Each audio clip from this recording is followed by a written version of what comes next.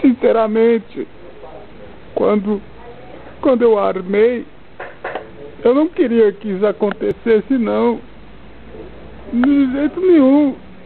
Eu armei por armar. Eu coloquei um pedacinho de queijo. E não era essa a minha intenção. Me desculpa, viu? Meus pêsames à família dele.